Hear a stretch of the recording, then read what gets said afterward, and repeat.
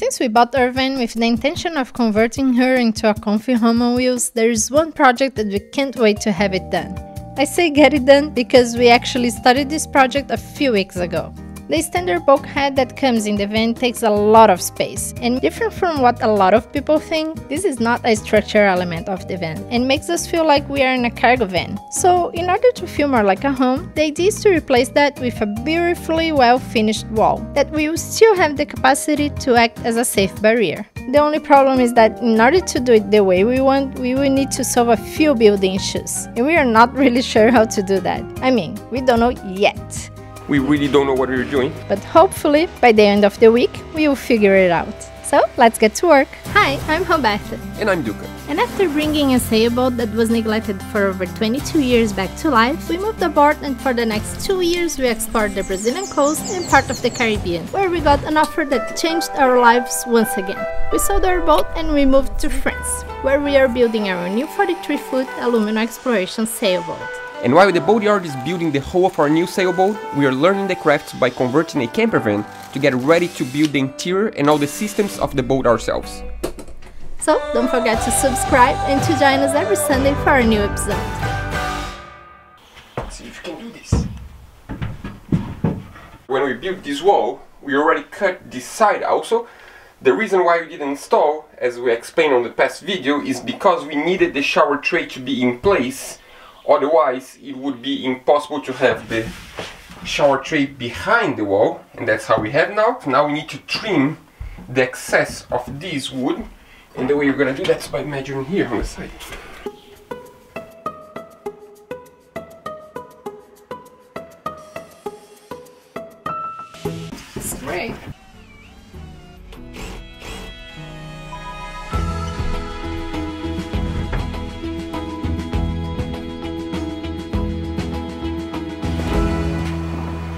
Been struggling to try to decide how to keep going on this project. And the reason for that is because we have so many different planes, like shapes. And we don't know if we apply the finishing now, or if we apply the finishing once we glue all the parts together. But I think it's gonna be way too hard. We, originally the idea was we assemble everything, we glue everything, we screw everything, and then we apply the finishing. But I don't think we can trim the finishing when everything is ready. Yeah, usually people think that we overcomplicate things and there is no reason for that. And 90% of the time, we know exactly how we're gonna do it and it's not overcomplicated. We're just trying to solve a problem. Today, we are also trying to solve a problem, many problems actually, but to be honest, we are not really sure how it's gonna go. We're trying our best. So today is the 10% of the time that we really don't know what we're doing. We get there eventually. When you buy a cargo van, it's standard to have what they call a bulkhead. That's basically a division wall between the driving space and the cargo space of the van. This bulkhead will act as a barrier wall, and in case of an accident, it will make sure that the goods you're transporting won't fly forward and hit the driver and the passengers. Different from what a lot of people think, this is not a structural element of the van. A proof of that is that you can buy the same model of van with the intent of transporting people instead of things, and this model will come without a bulkhead.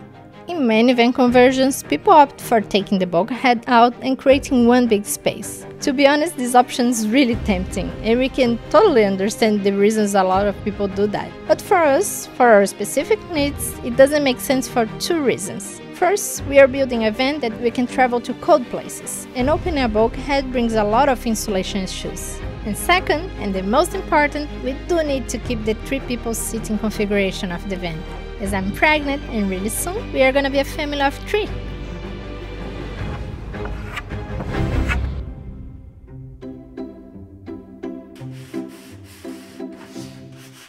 Surprise, surprise! This is the color of our shirt, Kevin. I love it. That's like, feels like concrete, even though it's not concrete, it's laminated. It's gonna be, I don't know, it's gonna create like a feeling of a different ambient and it's gonna divide the head, the bathroom from the rest of the van. I think it's gonna be really cool. So now we're cutting these first two pieces, that is this one and this one.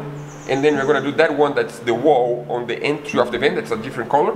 The tricky part here now is the connection of this angle. We'll, we'll see. Let's, let's cut first and then we'll, fingers crossed it's gonna work.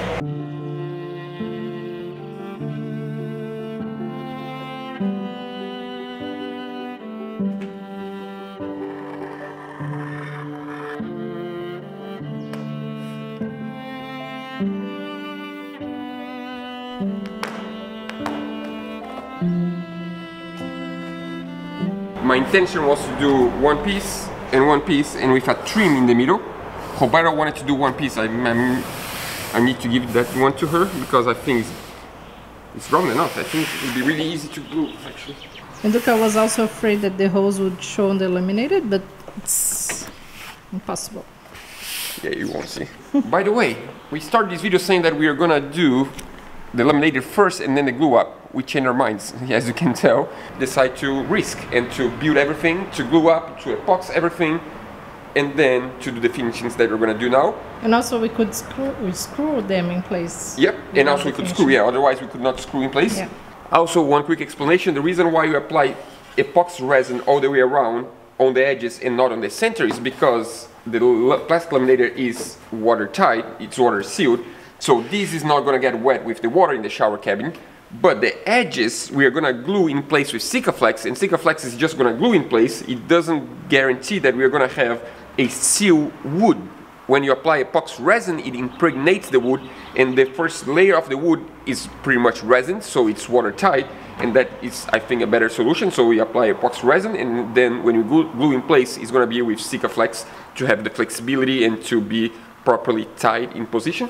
But now, stop stalling. Let's just glue this thing because I'm just like, uh, it's, it's scary when you don't do something for a long time. It's been a long, long time we don't apply plastic laminated, but we'll be fine. This is a little bit different, I guess, than the one I'm used to using in Brazil. This is called gel, so that's like a contact gel cement or something like that. But they say it's better for this application, so I trust the store and let's see what happens.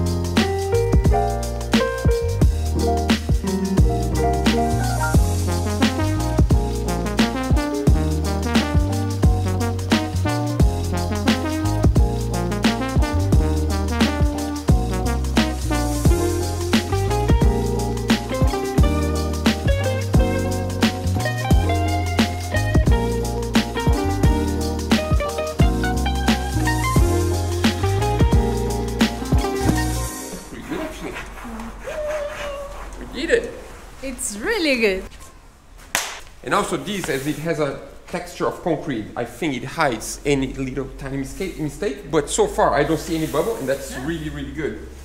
It's great. And this is the color of the wall.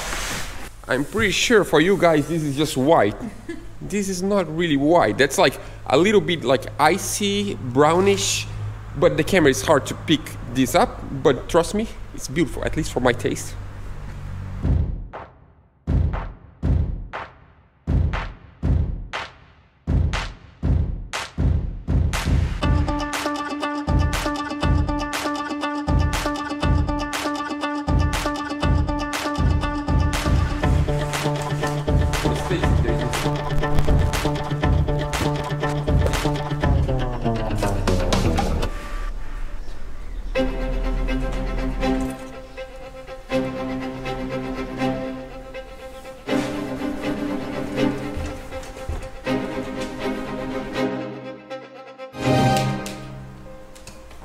We it up. I mean, I messed it up.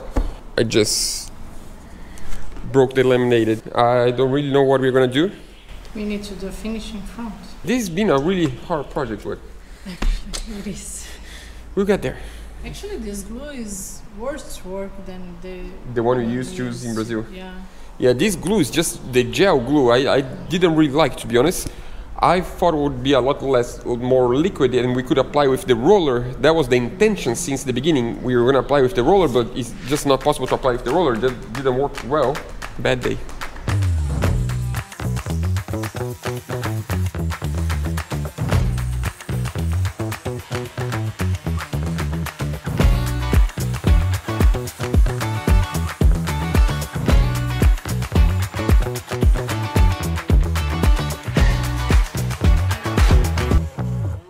Now it's time for the other side.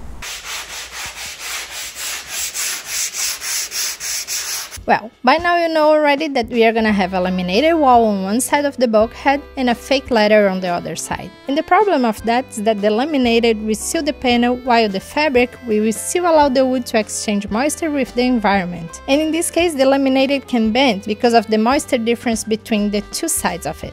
To prevent this to happen, it's important to seal both sides of the plywood. And this is the reason why we applied epoxy resin in one of the sides of the panel.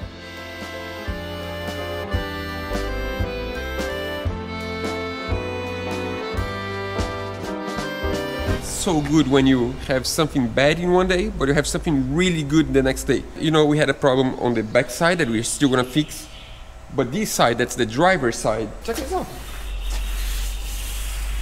So nice. Now the last step, I need to create a finishing for the edges. As you can tell, you can see the plywood in many places on the edge, mostly on the bottom one. I thought I was gonna do that by creating this little spaghetti with the same canvas so I glue one of the sides and create a spaghetti and then I can just you know glue to the edge like this it makes more sense on this sample so I did a few different iteration iteration yeah a few different options of finishing this one I just glue a canvas but you can tell that the glue is showing in some spots I remember today that we have some double side tapes that we brought from Sikaflex Factory when we went there. They have these double side tapes really, really strong. So I decided to give a try by using the double side tape to create a better roller. I'm gonna show you me doing and it's gonna make sense. And this is this finishing right here. That's my favorite one. Looks professional. That's the one I'm gonna go with. So now I have a lot of work. Let's do it.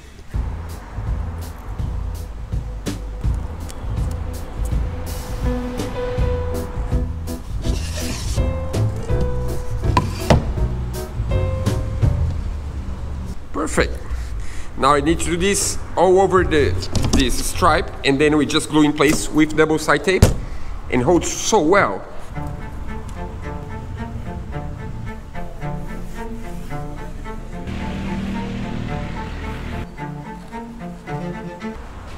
For the first time, I'm really impressed. This double side tape is impressive. It's so strong. It's even hard to take out of your fingers. Getting there. I'm so happy. Check this out. At one point, I thought I could not manage to get a good finishing on the edges, and it ended up so good. Perfect. Nail. Of course, it's not a professional job. 100% no. It's the first time I attempt anything close to that. I'm so, so happy with the result. By the way, I'm not sure if I mentioned yet, but here I don't have finishings because once this is in place we're gonna have a trim around because it's gonna be much easier to do in place and it's gonna be much per more perfect because I'm not sure where the wall starts and where the wall finishes inside the car like it's not exactly in the end it might be like somewhere around here so it's gonna be easier in place and that's we're gonna do that in the future you good day good day so this stage is done. We're gonna work on something that we're gonna do that later after it was installed in place. But as we have time now, we're gonna do today. So we want to build a little box here because here is gonna be the place where you store things when you take a shower, like shampoo, soap, and all these things. That's why we don't have a finishing here yet. That's next extra, extra step in the future, not right now. But I think it's good to have the little box at least ready, and that's what we're gonna do now. What do you say? Good and we also have a fixing to do. That's a, big, a bigger problem. We trim a little bit wrong this side. We need to take it's like... It's not wrong. We were not considering that we are gonna have finishing on the end. Told the finishing, that was a surprise. Oh. Yeah, we want to have a beautiful finishing on the edge and here has no, doesn't have enough space for the finishing. Here is fine. So from here up, we need to take like maybe one centimeter extra and that's going to be a little bit tricky because the finishing is ready but we can I think we can do that so let's get started with this one first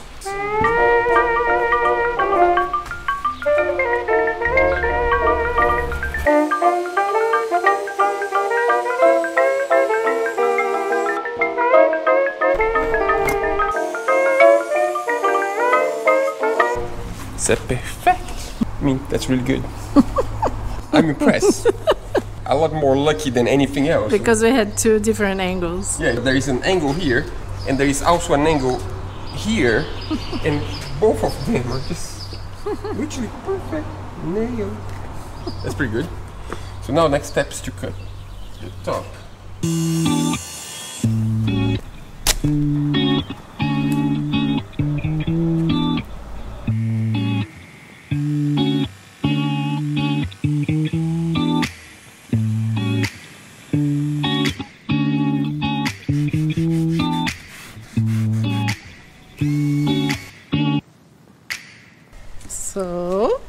Just impressed. I really, really like this jig.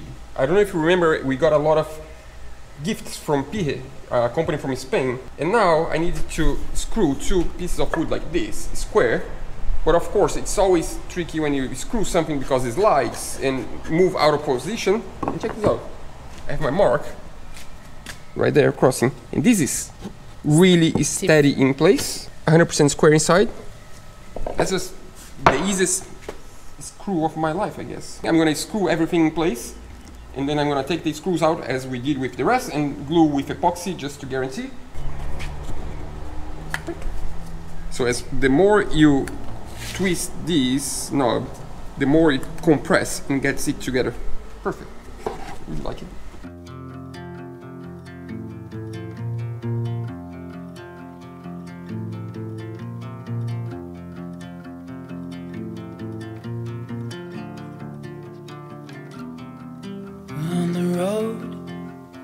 Been away for far too long, but now I'm on my way back home.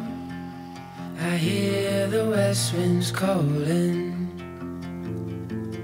out my name. They're telling me to head your way down your road and past your gates. Keep your eyes on the horizon. I was looking to belong when I'd already found my home.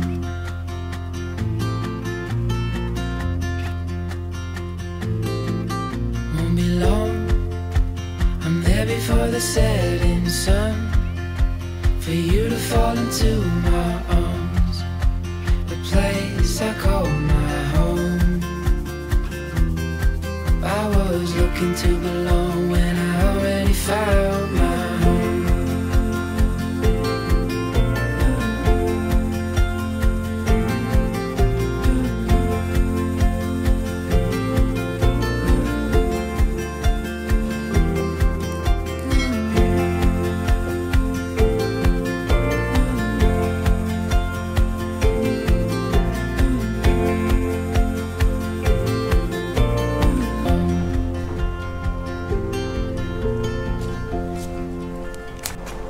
learning of the day. If the job is really big with resin, just doing two stages. It's just like it's been trying to dry on me for so long. It's just like running against the clock, but we did it. This is looks really good. The seal, the seal. I don't What's know the if you, purpose of this? yeah, I don't know if you really understood. This is the way I'm gonna guarantee that there is no infiltration of water in, on the walls of the shower cabin. So the next wall is gonna lean on this, and this is epox glue to the, this part. So it will make sense in the future, but this is epoxy to this part, so that means this became one part. There is no flexible seal that's like one piece. The next wall is gonna lean right in front of it with Sikaflex. So that means in order for the water to leak, you need to go all the way around this edge, and it's gonna make a lot, lot harder to have some infiltration of water. That's what I believe at least. That's pretty good. I'm really, really excited. Th- This is a really complicated project that is somehow coming together. I, that's it's unbelievable. We didn't know what we were doing when we started. now I have a really good idea. I think. I think. Next step is the dangerous one. I'm trying to think about anything that goes wrong because that's you know when you do a glue up or something like that is when you start you start. There is it's a commitment. You, you cannot go back and that's the moment that you rather know what you need to prepare first because if you need to prepare something extra in the middle of the job you- you're in trouble. What's the idea? so the idea is you're gonna glue the bulkhead, that one right there, beautiful, in place with Sika and we're gonna Which wait sticker? 5 to 2 that's the mode purpose that we always use. I mean by now you probably know we use that a lot actually yeah the reason why we use Sika is because if we just screw in place when the van when we drive the van it moves and it, it cracks like if you have a rubber seal in between both pieces of wood there is a less less probability that it's gonna make noise.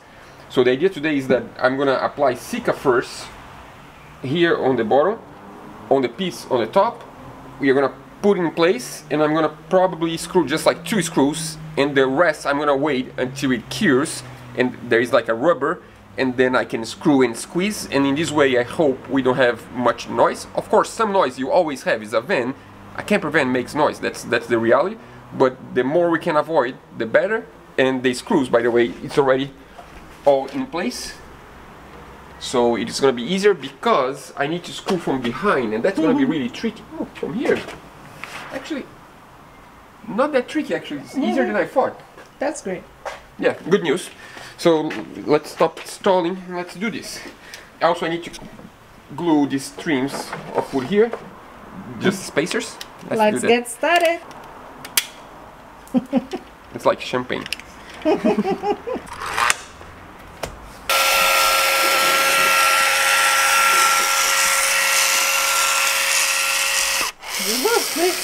I've, I forgot that the last time I changed the setup of the machine, there is like a few different speeds, and I, I'm oh I'm on max. That's why I changed last time. That's Not job.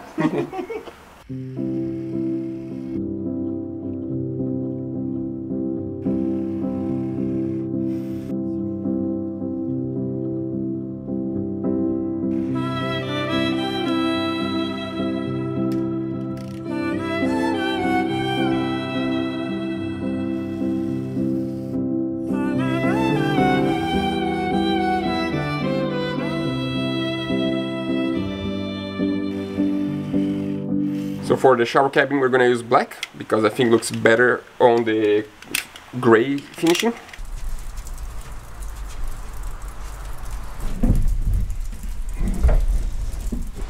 The problem is 100% this. I need the angle grinder.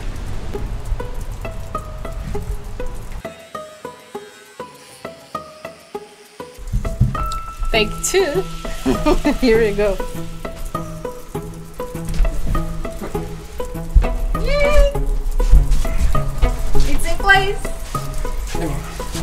Roughly. Wait. Don't celebrate too early.